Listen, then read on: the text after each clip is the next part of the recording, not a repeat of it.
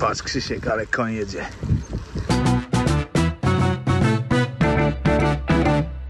No to czas zacząć. Drugi dzień zmagań z Festive 500. Warunki coraz mniej zimowe. Muszę wam powiedzieć, że dzisiaj diametralnie inne warunki do jeżdżenia. Słoneczko świeci, w zasadzie chodniki, asfalty już praktycznie suche, więc naprawdę dzisiaj to jak w Australii. Nie dziwię się ludziom gdzieś na drugim końcu świata, którzy robią Rafa Festive 500 jako po prostu normalny tydzień jazdy. Takie warunki to można się bawić. Zdecydowanie dzisiaj jest różnica. Praktycznie sucho, jest około 6-7 stopni, nie wieje dzisiaj w ogóle, naprawdę czysta przyjemność. Szkoda, że to akurat wczoraj musieliśmy zrobić 90, a nie dzisiaj, no ale cóż, wczoraj Wigilia, dzisiaj jestem właśnie w drodze na świąteczne śniadanie, więc jakoś to wszystko na razie się fajnie klei. Moi drodzy, jakie przemyślenia drugiego dnia Festive 500? Przemyślenia takie, że jeżeli jest taka pogoda jak dzisiaj i takie warunki, to z punktu widzenia takiego charakterologicznego, w sensie odporności na pogodę, to dla kogoś, kto jeździ cały rok, to jest żaden problem i ogólnie nie jest to wielkie wyzwanie. Oczywiście fajnie jest zrobić Festive 500 w Kalifornii czy w Australii, ale tam to w ogóle jest normalny tydzień po prostu. Natomiast moim zdaniem problemem tutaj dla kogoś, kto na przykład w sezonie też jeździ e, czasami tygodnie po 500 i więcej kilometrów, jest do tego przyzwyczajony, to największym problemem i problemem, który moim zdaniem sprawia, że nie ma absolutnie w ogóle co na kogokolwiek wywierać presję, jest to, że ten cały challenge, piękne słowo, wychodzi dokładnie w czasie, w którym mamy święta, mamy też często pracę, no bo umówmy się, że większość z nas pracuje między świętami a Nowym Rokiem. No i mamy tego czasu, ile mamy i chcielibyśmy go podzielić też dla, na spotkania z rodziną, z którą pewnie nie widzieliśmy się długo, albo na które to spotkania bardzo liczymy. Mamy dzieciaki, mamy partnerki, partnerów, mamy rodziców, mamy ludzi, którzy chcieliby też z nami ten czas spędzić i fajnie by było, żeby nasza rowerowa pasja nie powodowała takiej rodzinno-socjalno-emocjonalnej demolki w życiu innych ludzi. I to moim zdaniem to jest największy problem, po prostu jest bardzo, bardzo trudno wygrzebać przy tak krótkim dniu, jaki jest w grudniu, ten czas na 500 km jeszcze w okresie, gdzie podróżujemy na przykład do rodziny, spotykamy się z rodziną, musimy popracować. Więc tu jest największy problem i to jest problem, który sprawia, że moim zdaniem absolutnie nie ma się tym tematem przejmować. Jeżeli ktoś ma taką ochotę i potrzebę, żeby sobie chciał tak sprawdzić, czy da radę w zimie te 500 km przejechać, a też umówmy się, że jest to jakiś tam mały wyczyn, no bo wiadomo, nawet jak pogoda jest ładna, to jeździ się w zimie ciężej, no mamy grubsze ciuchy, e, jednak są większe opory, bo coś leży na drodze, bo wiatr wieje, bo jest bardziej zimne powietrze i tych różnych takich czynników jest więcej, no to warto wtedy spróbować, tylko warto to robić dokładnie wtedy, kiedy wiemy, że mamy ten komfort, że nikomu nie robimy tym e, krzywdy i to nie jest tak, że nasza pasja po prostu demoluje życie innych ludzi, więc absolutnie nigdy nie krytykujcie kogoś, że sobie odpuścił, albo że ma to w dupie po prostu, bo to jest zabawa, w dodatku śmieszne jest to, że jest to de facto zabawa, która jest po prostu marketingowym wiralem i to jest w ogóle fascynujące, jak Rafa zrobiła z czegoś, e, co po prostu było akcją reklamową producenta odzieży, e, wydarzenie albo pewnego rodzaju kultowy e, event, który dzieje się co roku i który ekscytuje no, setki tysięcy, jak nie miliony kolarzy na świecie, no bo tak to wygląda, jak patrzcie na strawę, ile osób bierze udział w Festive 500, żeby zdobyć tą plakietkę, no to naprawdę są to gigantyczne ilości, które ciężko albo wręcz nie da się powtórzyć żadnemu innemu producentowi i to nie tylko ze świata e, odzieży, bo myślę, że jeden producent samochodów, gadżetów, telefonów chciałby zrobić podobną akcję, która de facto za darmo sama z siebie by się powtarzała co roku i, i przyciągała takie zainteresowanie ludzi. Więc no, pamiętajcie w tym wszystkim, że bierzecie udział w akcji reklamowej jakiegoś producenta, więc e, warto mieć do tego dystans i tak jak mówiłem, warto pamiętać o tym, że family first. A ja to sobie w ogóle dzisiaj jadę. Puste ścieżki rowerowe, zresztą świeżo e, zrobione w Nowej Hucie. Ogólnie na drogach mały ruch. Jak widzieliście, jak przejeżdżałem przez miasto, Praktycznie nikogo nie było, bo wszyscy jeszcze gdzieś pewnie śpią, zalegają, zabierają się za śniadanko. Ja zresztą w ogóle akcja jest taka, że jadę do mojej kochanej mamy na śniadanie e, świąteczne, więc tak naprawdę po prostu dzisiaj zamieniłem samochód na rower i trochę sobie dołożyłem drogi, wstałem po prostu wcześniej, wyjechałem trochę wcześniej, żeby zrobić te 31, 30 w drugą już 60 km gdzieś tam się dorzuci. Tak jak mówiłem, zero presji. To prawdopodobnie się nie uda, jeżeli coś się stanie takiego, że mi się nie będzie chciało tych 500 km jechać, to po prostu tego nie przejadę i wyjdzie mi 350, 370 czy jakakolwiek e, liczba tych kilometrów, ale naprawdę dzisiaj jest mega przyjemnie po prostu. Jest super, super warun, fajny klimat. Ja w ogóle lubię jeździć na rowerze w takich nieoczywistych dniach, nieoczywistych porach, jak na przykład wstać sobie w Nowy Rok wcześnie, nie na kacu, tylko móc sobie pójść na rower, albo właśnie wstać e, w Boże Narodzenie e, i czy tam Wielkanoc wcześnie rano i sobie tak zanim e, gdzieś tam życie bliskich zacznie mnie przyciągać i, i będę potrzebny, to sobie wyjść na ten rower i właśnie cieszyć się takim światem, który jest tak trochę tylko dla mnie. Fajne uczucie, ogólnie polecam, niezależnie od tego, czy to jest Festive 500, czy cokolwiek by to nie było, to po prostu jeżdżenie w takich godzinach, gdzie świat jest tylko dla Was, jest całkiem fajne. Zwłaszcza w takie dni, bo to nie wymaga tego, żeby wstać o 5 rano, tylko e, ludzi raczej nie ma nawet o 9 czy, czy 10 na ulicy. Nie no, jest dzisiaj tak przyjemnie. Mam nadzieję, że możecie to poczuć przez obiektyw. Ogólnie jest naprawdę przefajny dzień dzisiaj rowerowo. Przeprzyjemny, słoneczko świeci, kurtka się lekko nagrzewa, cienkie ciuchy, więc jest naprawdę spoko. Tam jest w ogóle stadion Hutnika, Estadio de Suche Stawy w Nowej Hucie i właśnie to jest nowa droga dla rowerów, która tutaj powstała i zaczyna łączyć e, ten tę część Nowej Huty właśnie z Wisłą i z wyjazdem na przykład na Przylasek Rusiecki. A po ostatnim odcinku w ogóle wiele osób pytało znowu o ciuchy, o jakieś gadżety, co to jest, jaki mam zestaw na taką pogodę, więc dzisiaj mamy ogólnie 8 stopni. E, mam na sobie kask, który pewnie znacie, czyli Hayotce Furion. Pod spodem tylko opaska, bo nie cierpię czapek zimowych, nawet na mrozie jeżdżę tylko w opasce, tak żeby zasłonić uszy, skronie, natomiast kask, on i tak, umówmy się, nie ma zbyt wielu otworów wentylacyjnych, więc to, że mi tam gdzieś wiatr dociera do włosów mi zupełnie nie przeszkadza, a po prostu nie lubię czapek, bo jest mi w nich zawsze za ciepło. Jak nie mam jakiegoś takiego miejsca, gdzie tam się może to ciepło wymieniać, to po prostu robi mi się za ciepło. Do tego kurtała JMP Winter Light, czy Winter Pro chyba Light to się nazywa. To jest ta wersja cieńsza, jest to generalnie śmieszna kurtka z Polartekiem Alpha. Jednym z najfajniejszych w ogóle materiałów, jaki e, istnieje, jeżeli chodzi o zimowe ciuchy rowerowe. Naprawdę jest po prostu czymś super fajnym. Natomiast kurtka ma membranę tylko z przodu, na rękawach jest e, inny, taki cieńszy materiał, bardziej oddychający, więc ona się nie nadaje na e, jakieś wielkie mrozy, bo tutaj jednak trochę wtedy rękawy przedziewa. To jest taka kurtka, która tutaj chroni przed wiatrem, jest idealną kurtką od 0 do 10 stopni, taką bardziej bluzą niż kurtką. Pod spodem zwykła potuwa raso, cieniutka, czyli po prostu to, co zawsze u mnie, czyli to jest bezrękawnik, pytaliście o to, o, tutaj nie ma rękawu, więc jest to po prostu zwykły e, bezrękawnik. Dzisiaj akurat zimowe gacie e, Asosa, no i zimowe buty. To są akurat testowane przeze mnie Nordwave model Flagship GTX. E, bodajże to jest chyba najwyższy model zimowych butów cross country od e, Nordwave'a. Generalnie buty nie tanie z Gore-Texu, ale robiące robotę. Chociaż paradoksalnie nie są to jakoś ultra ciepłe buty. One mają przede wszystkim bardzo dobrze chronić przed wiatrem, wodą i tak dalej, natomiast nie mają jakiegoś super ocieplenia. No i co? I do tego po prostu zwykły buf pod szyję i dziękuję, do widzenia, mi jest ciepło e, i nie ma problemu. Ogóle taki zestaw, w którym przejeżdżam przez 3 czwarte zimy. W ogóle jedne zimowe spodnie, jedna spoko kurtka plus bielizna e, i jolo. I w zasadzie w kurtki zimowej nie pierzycie po każdej jeździe, więc to są takie rzeczy, które wystarczają na parę lat pewnie jazdy. Z zimowymi spodniami to samo. Ja tam, nie wiem, co dwa dni je po prostu wrzucam do, do pralki na jakieś szybkie pranie, e, albo nawet codziennie po każdej, po każdej jeździe, tylko że na jakiś szybki program. I te spodnie działają, te były prane już nie wiem ile razy i nic się z nimi nie dzieje, więc ogólnie zimowe ciuchy to jest coś takiego, że wystarczy jeden komplet i można targać po prostu przez kilka sezonów w zimie. Drogie to wszystko jest, ale przynajmniej nie, nie jest to jak lato, gdzie się pocicie i codziennie trzeba zmieniać koszulkę, tylko jednak kurtka to jest coś, co być prane co, co każdą jazdę, więc ogólnie ma to nawet jakiś e, swój sens. Co by tu nie mówić, jest to straszna orka dla sprzętu w e, takich warunkach, zwłaszcza ta sól, która gdzieś e, w tej wodzie jest i ogólnie rzecz biorąc, no co tu nie mówić, katuje to rower, ale cóż, dzięki temu, że ja sprawdzę na przykład Ultegrę Di2 w takich warunkach, Wy nie będziecie musieli, więc fajnie, że są w ogóle takie możliwości, można takie rowery i taki sprzęt sprawdzać w taki sposób i nikt Wam nie mówi, że nie róbcie tego, bo ten rower trzeba za pół roku sprzedać i ogólnie to zrób taki test, żebyś przejechał tydzień po suchych asfaltach, a potem powiedz, że było super. Także jest to jakaś korzyść e, z tego, że takie materiały mogą powstawać bez e, konsultowania i bez pilnowania się z producentami. A ja kończę z Krakowem. Dzisiaj wieczorem lecę do Leszna i tam kolejne kilometry. Czyli kolejne kilometry przez dwa dni będziemy dokręcali Płaskopolsce.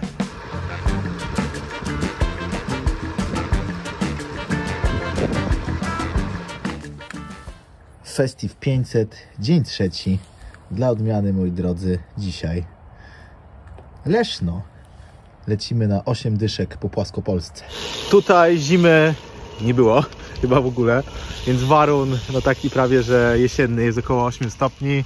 Nie pada, trochę wieje, więc to dzisiaj może być jedyne, jedyny problem, jedyne wyzwanie. W planie mam 80 km do Boszkowa, powrót przez Głoszakowice, przez Osieczną, jest taka rundka żeby trochę tych kilometrów siadało, żeby też jakoś brzydko nie było. Trochę szutru dzisiaj dla odmiany po drodze, ale zakładam, że tutaj jak nie było e, śniegu i ziemia bardzo nie zamarzła, no to mo, powinny te szutry dać radę, więc takie małe urozmaicenie. Lecimy w trasę, dzisiaj zobaczymy jak to, jak te kilometry pójdą. No i dzisiaj też parę słów o Garminie, Vari, o radarze, który tu jest zaimplementowany.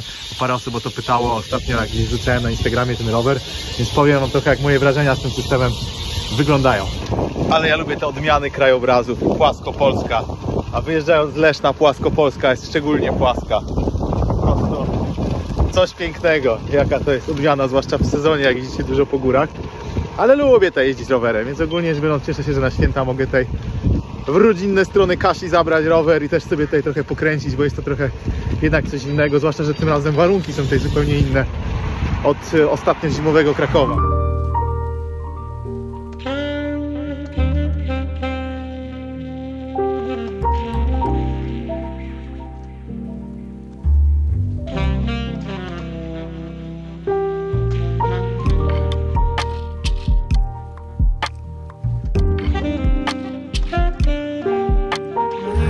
I tak to kręcenie dzisiaj będzie wyglądało. Dużo dróg rowerowych.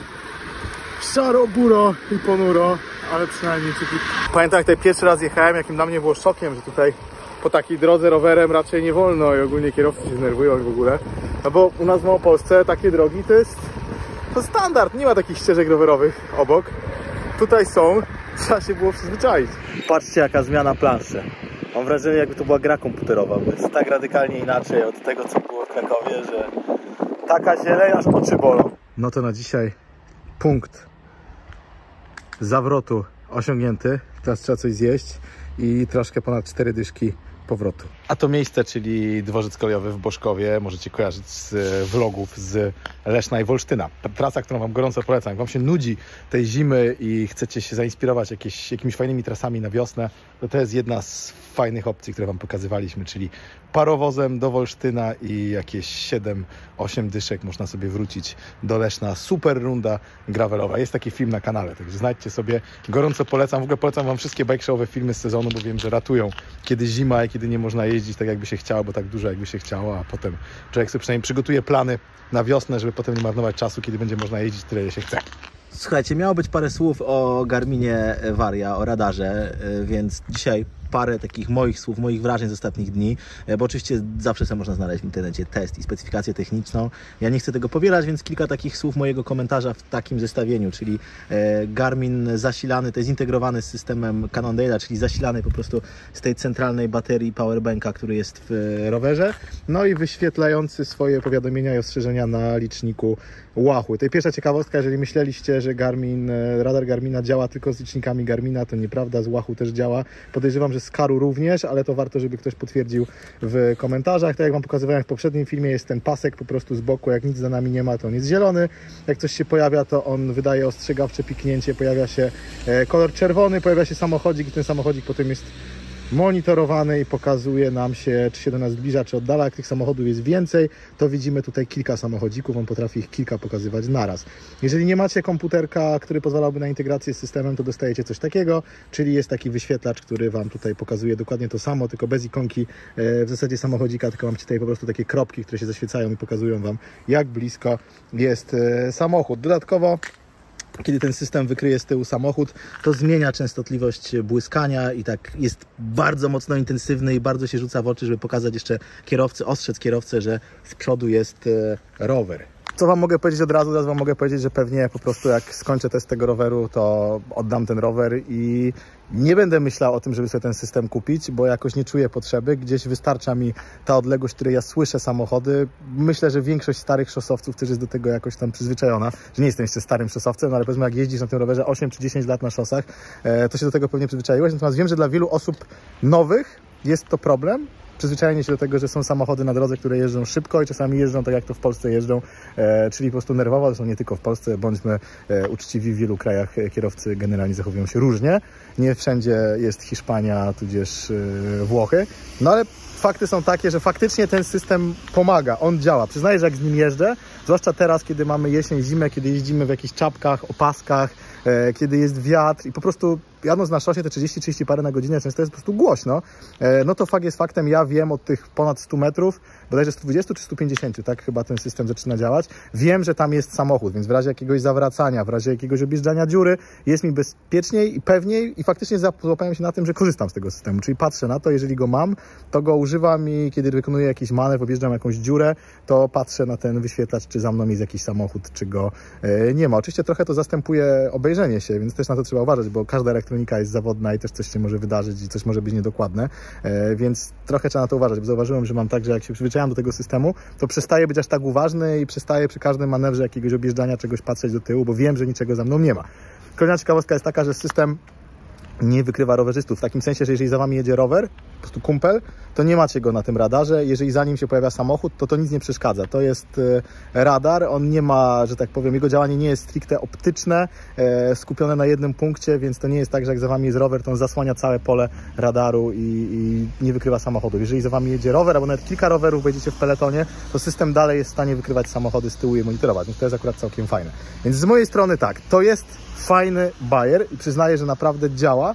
Działa dla, zaskakująco dobrze, nawet dla kogoś, kto byłby sceptyczny, więc ogólnie rzecz biorąc y, warto sobie to przetestować, bo pewnie wiele osób zupełnie nie rozumie, jak to działa i opinie, które widziałem w internecie i opinie ludzi, którzy e, krytykują ten system, często są totalnie odklejone w ogóle od realiów i, i widać, że nie wiedzą, jak to działa. Natomiast z mojej strony pewnie po prostu będę jeździł bez tego systemu, bo nie czuję na razie potrzeby, żeby go gdzieś samemu sobie kupować, więc uważam, że spełnia swoje zadanie, działa.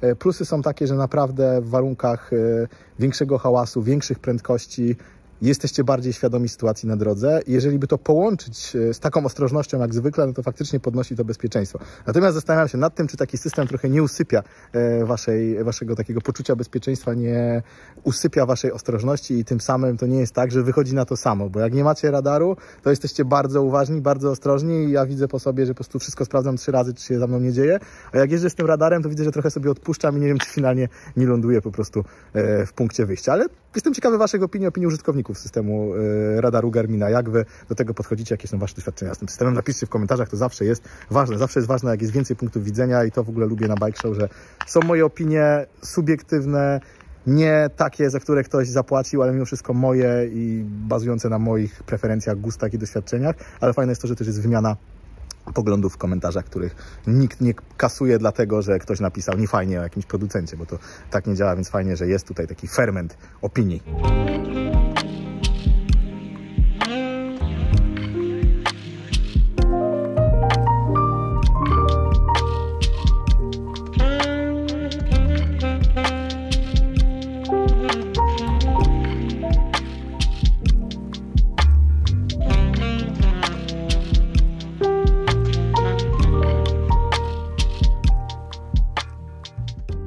No to czas na szutrową część Festive 500, ale powiem Wam, że tutaj teraz szutry w takim stanie, że lepiej jak w lecie, bo nie takie sypkie, troszkę związało, zero błota w ogóle, naprawdę. Gdzie ta zima tu była? Co za niesprawiedliwość dla kogoś, kto nie lubi śniegu w porównaniu z Małopolską. Oj, powiem Wam płasko Polacy, że ja Wam dalej zazdroszczę takich dróg, zwłaszcza o tej porze roku, kiedy one są wilgotne i nie są takie suche i piaszczyste jak w lecie. No to jest naprawdę przyjemność, można zrozumieć po co ten Road Plus. To jest swoją drogą naprawdę idealne wydarzenie i idealna okazja, te 500 km zimowe, żeby poznać ten rower i do czegoś takiego ten rower w ogóle nadaje się najlepiej.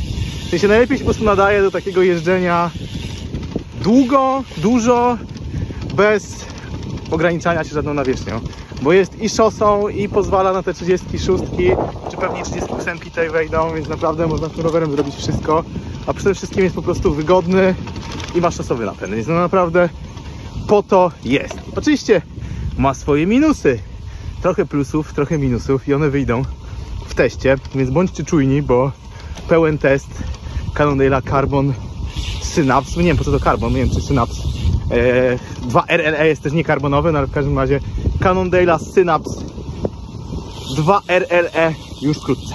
No i koniec. Robi się ciemno, dobrze, że są lampki. 80 km w takich warunkach. To wiatr w ryj, to deszcz pada. No to naprawdę smakuje trochę inaczej. Dobrze, że jest ciepło, ale jednak warunki są takie, że te 80 km to tak smakuje trudniej niż powiedziałbym stówka w lecie albo 120 w lecie.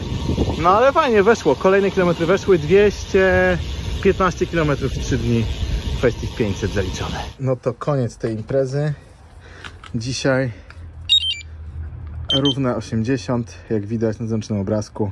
W sumie nawet trochę, trochę było w górę tych metrów dzisiaj, bo jak widać 247 metrów w Płaskopolsce. Całkiem niezły wynik. Cóż, pamiętajcie, że więcej akcji na Strawie i na Instagramie, a linki do Strawy i do Instagrama zawsze są w pierwszym komentarzu pod filmem. Tam sobie znajdziecie linki do Strawy, do Instagrama. No i cóż, ja na dzisiaj kończę. Do zobaczenia w kolejnej rundzie wyzwania z Rafa Festive 500, czyli pewnie gdzieś za dwa dni kolejny odcinek, kolejne dni.